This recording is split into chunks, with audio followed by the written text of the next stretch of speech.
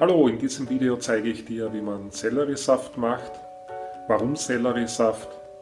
Selleriesaft ist ein sehr starkes Mittel gegen Entzündungen. Es ist ein natürliches Mittel. Es gibt deinem Körper wichtige Spurenelemente und Salze und Mineralien. Das ist so ziemlich das Beste, was du tun kannst, damit du Entzündungen hemmen kannst. Gut, ich zeige dir mal kurz, was du dafür brauchst und muss dafür kurz das Video umschalten. Hier habe ich gewaschene Selleriestangen. Du brauchst eine Knolle für ein Glas Selleriesaft. Das heißt, du wirst äh, ziemlich viel Sellerie einkaufen müssen, damit du täglich deinen Selleriesaft trinken kannst. Gut, dann zeige ich dir, wie ich daraus Saft mache.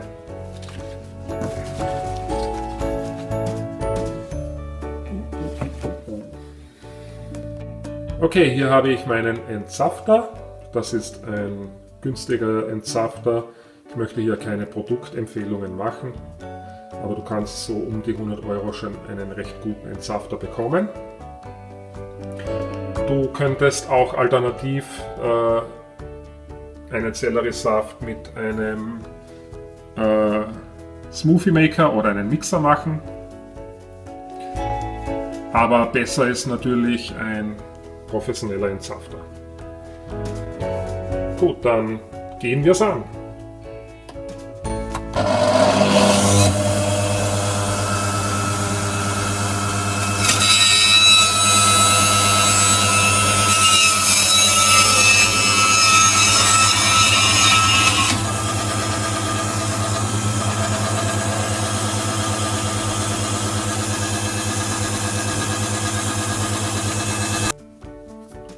So, wie du siehst, hier habe ich nun eine ganze Selleriestange entsaftet und das Ergebnis ist ungefähr ein Viertelglas Selleriesaft. Ist nicht wahnsinnig viel für eine ganze Knolle, also für eine ganze Selleriestange, aber was soll's.